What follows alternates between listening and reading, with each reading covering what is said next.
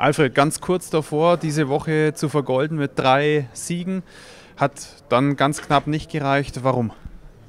Ja, weil äh, ja, in die Phase, wo wir gut gespielt haben und waren dominant, dann haben wir nicht genug äh, Chancen daraus bekommen und äh, Tore geschossen. Das ist, äh, war entscheidend heute und dann am, ganz am Ende dann verteidigen wir sehr, sehr tief und äh, ja, dann fragst du vor, dass, dass der Gegner mehr mit mehr Mut spielt und, und dass sie mehr Selbstvertrauen bekommen. Und, und das haben wir einfach nicht gut genug gemacht heute. War es vielleicht die Effizienz? Man hätte theoretisch auch zur Halbzeit schon 2-3-0 führen können, dann hättet ihr euch wahrscheinlich im zweiten Durchgang leichter getan, oder? Ja, bestimmt. Äh, die Chancenverwertung war, war nicht gut genug heute. Wir hatten einige Chancen, aber ja, es, ist, äh, es war einfach äh, über 90 Minuten nicht gut genug, aber große Phasen von diesem Spiel haben wir gut gespielt. Du hast wieder getroffen. Äh, die Statistik sagt, dass du in dieser Saison alle sechs Schüsse, die aufs Tor gekommen sind, äh, auch reingemacht hast. Das ist eine enorme Qualität.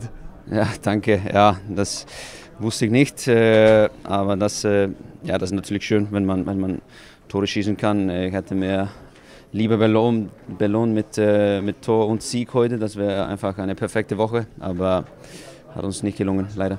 Im Großen und Ganzen kann man aber trotzdem zufrieden sein, oder? Zwei Siege, ein Unentschieden, das geht in die richtige Richtung. Jetzt momentan fühle ich nicht äh, genau so, aber vielleicht, wenn man nachschaut, äh, morgen Abend oder nächste Woche, dann, dann war es äh, vielleicht nicht so eine ganz schlechte Woche. Johnny, wie ärgerlich ist es, dass ein überragendes Freistoßtor von dir am Ende leider nicht zum Sieg gereicht hat?